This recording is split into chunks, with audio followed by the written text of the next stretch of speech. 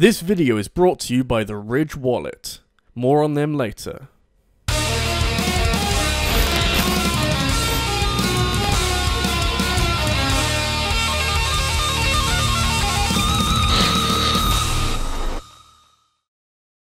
We like to exaggerate a lot, don't we?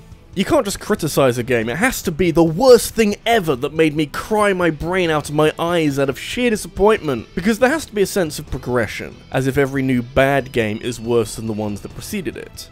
I'm not likely to discuss much of that today, but I do think there's plenty of mileage in discussing the worst games within otherwise competent franchises. That way, there's some tasty justified exaggeration as we unpack some of the most underwhelming games of all time, while also offering hopeful optimism that even the best around can make horrifying mistakes every once in a while. You might think that some franchises have a perfect hit rate, but even the best are prone to one or two slip-ups. Though specifically, I want to focus on franchises with one single standout bad game in there, because that way, the effect is way more significant. You can feel the weight of disappointment and failed expectations like a sack of cement. We're about to embark on a very exciting, deeply disappointing adventure, but before we do that, I feel like we need to load up on positive, hopeful energy, and thankfully, this video is sponsored by the Ridge Wallet, this sleek, very professionally designed wallet that fits in my back pocket a lot easier than my old, fatter wallet. And apparently, this is so strong, it's chainsaw proof, which is the kind of mental image that I didn't know that I needed, but I'm glad I have now, and now I can do my lumberjacking with no concern whatsoever. Most people are still using wallets designed decades ago, carrying around all sorts of receipts and crappy gift cards, and it's a bit strange that phones have got all stylish and streamlined, but wallets have stayed so archaic.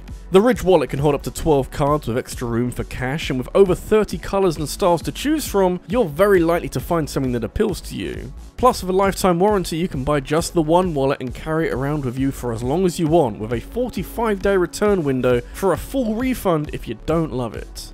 Get 10% off today with free worldwide shipping and returns by going to ridge.com forward slash rabbidluigi and using the code rabbidluigi. That's ridge.com forward slash rabbidluigi with the code rabbidluigi. It's time to move away from bulbous butt cheeks. Cool! Let's talk about some terrible video games.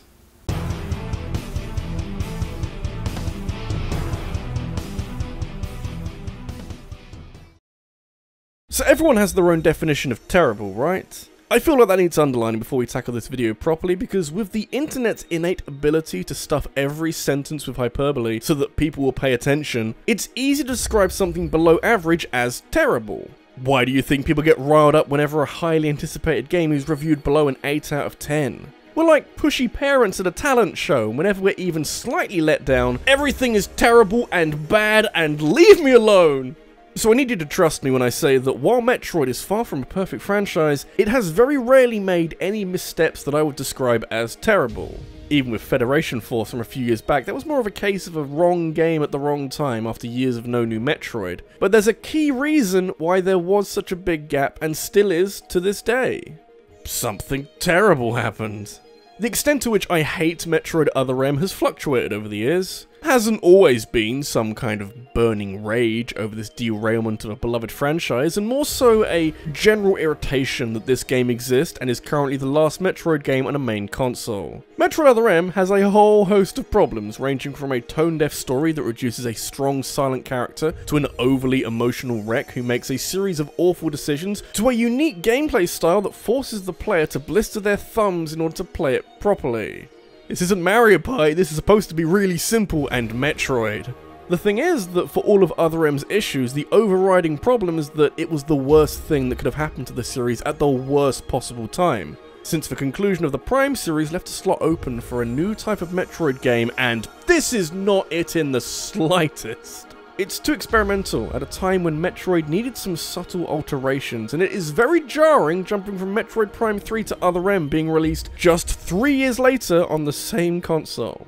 Metroid has had low points, but this is the lowest point that it has yet to truly recover from, which makes Other M a game with consequences larger than its own boundaries. A full restoration may be in order. Metroid Other M being so bad and so far removed from what made previous Metroid games so much fun to play, just puts more pressure on Metroid Prime 4 if and when it comes out. It's more than just providing the world of a new Metroid game, it's righting the wrongs of Other M and giving people some confidence in this franchise again. So, plenty for the devs to work on in the next seven years or so.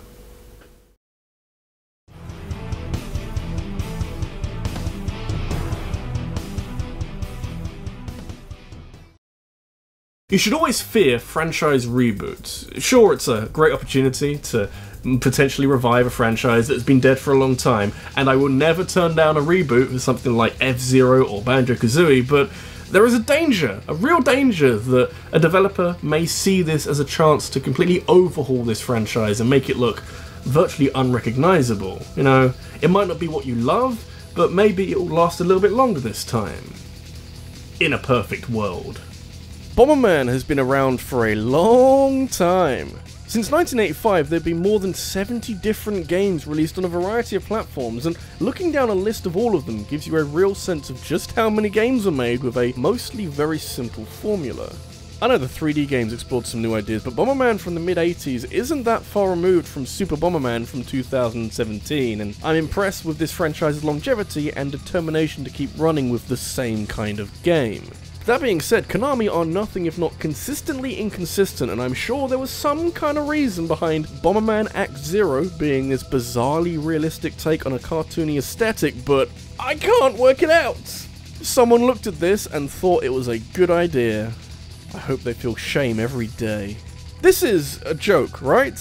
Like those realistic renders of Mario or playing Dark Souls with a gun, this is more of the same, isn't it? That's the only way my head can piece together Bomberman Act Zero as a concept and as a fully realised video game that you can play and can watch other people play, as Bomberman makes the jump from cute game about bombs to post-apocalyptic dystopian society where conflict is solved in the arena with explosives. Are you a man or are you a Bomberman? It's not like Act Zero was made by a smaller studio with a few too creative ideas for Bomberman, since this is still the same Hudson Soft who put their names to dozens upon dozens of more traditional Bomberman games. The shift in tone and design does more than just look weird, because it also obscures a lot of the action, and it's only now that you appreciate how much stands out with Bomberman's colourful art style. This game was heavily panned by anyone who had the misfortune to play it, and unsurprisingly, Hudson Soft's strange little experiment started and ended at Act Zero. Bold of them to predict their Metacritic score in the title.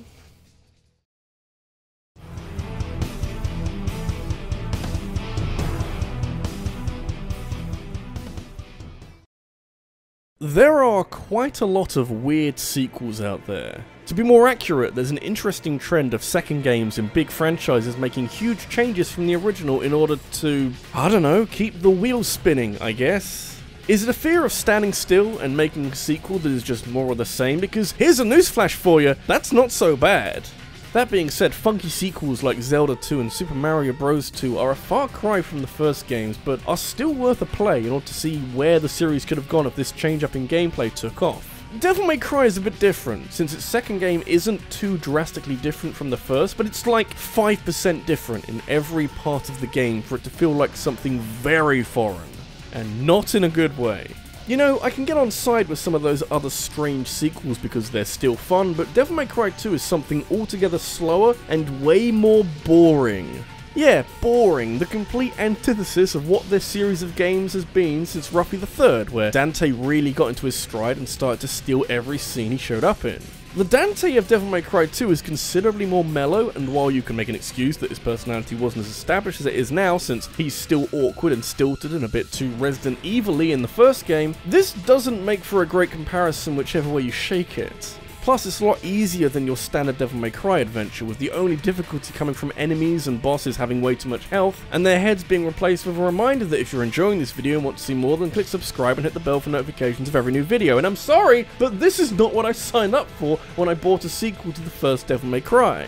This is a franchise that hasn't had a lot of games in it, and has kept most of them to a high level of quality. The only slight exception apart from DMC2 would be the 2013 reboot, which is definitely challenging to accept as a reboot, but isn't functionally broken or painfully easy, so it's an easy pick to make. At least there's parts of DMC 2013 that are enjoyable. Devil May Cry 5 tells me that Capcom knows what they're doing with this franchise again, so we may never see a DMC game as bad as 2 again, but at least it has its own shitty place in history. I'm sure the rent is cheap.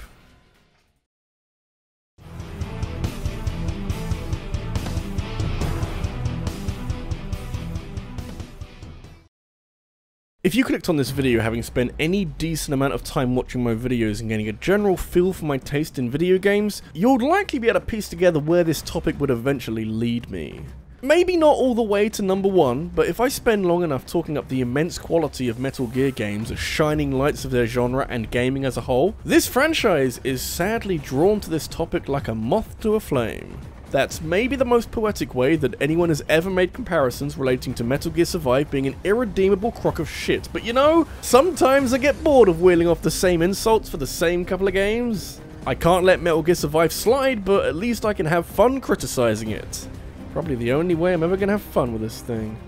It's very important to remember the many different ways in which Metal Gear Survive is a catastrophic failure because I fear that we may have forgotten and moved on to some other kind of recent shitty game to get our fix and laugh at, but Metal Gear Survive is so bad, it fails at being a Metal Gear game, because it's nothing like them, but it's also a bad game in its own right that never gets the most out of its premise, or even the Fox engine that's recycled from MGS5.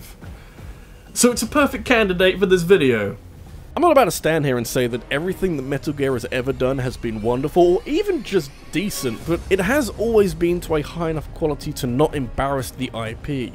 I mean, some of it has been a little out there, but it's all in service of some pretty spectacular video games. Metal Gear Survive, a game made without Hideo Kojima's involvement by repurposing a lot of assets from the last Metal Gear game he made with Konami, is a Frankenstein's monster of a video game. More the inherent tragedy and less the need for a companion to combat the loneliness. Survive deserves to be lonely for regurgitating tired tropes with no originality as part of a franchise that lived and breathed a life full of original concepts and innovation, all while Konami coats everything in a layer of hateful microtransactions that set you back $10 for a new save file. Considering the narratives that previous Metal Gear games have tackled with criticisms of rigid regimes and exploitation, Survive is an insult to everything that this series stands for and is the deepest of low points in a franchise that went so long without a true stinker. You know, if you don't count the pachislots as a video game, but I've never played them, maybe they're really good pachislots. Wouldn't be much of a victory though.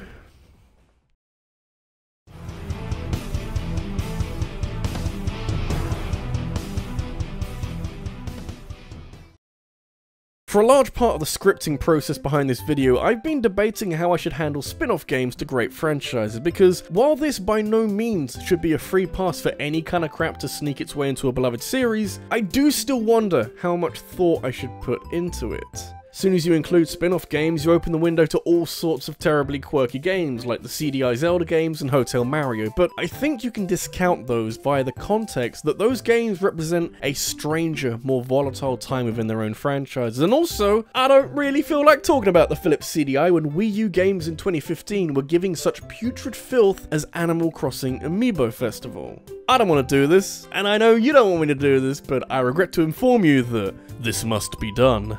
The hesitancy comes from the fact that Amiibo Festival is a long way removed from anything even remotely Animal Crossing like, and while that is a genuine complaint to have, it doesn't exactly try hard to be anything other than a cutesy party game. Animal Crossing didn't get a conventional game on the Wii U, and so there's definitely a sense of injustice that Amiibo Festival is the reluctant alternative, but the remarkable thing is just how dull and lifeless this game is from a perspective of potentially being a fun and enjoyable party game. In actuality, it's a bad party game while also being far and away the worst thing that Animal Crossing has ever put its name to, and probably just a way for Nintendo to sell more of their amiibo cards. 2015 was a bad time for Nintendo games, and I don't think any other game underlines this more than Amiibo Festival. Just so devoid of life, it's like an empty husk of a game with some pretty makeup on. You would have needed some ironclad optimism to see the Switch and Nintendo's renaissance coming after all of this, let alone an Animal Crossing game as good as New Horizons. Must have been short on ideas and full of cynicism in the office that day. This is RabbidLuigi, and you might be sitting there thinking that Animal Crossing Amiibo Festival is harmless, and the fact that it's terrible, you know, it's not such a big deal. But in 2015, the reveal trailer offered hope at a new Animal Crossing game before what was revealed was anything but. And when the game eventually came out, it was revealed to be a lifeless party game, and it felt like Nintendo really, really didn't care about the IP. And that just kind of damages the brand above all else. If it carries the name, it can potentially do massive damage.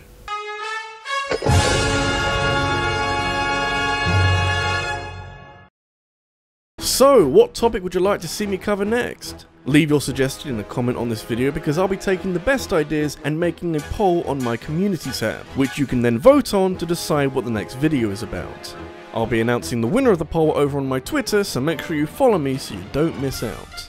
Thanks for watching, and I'll see you in the next one.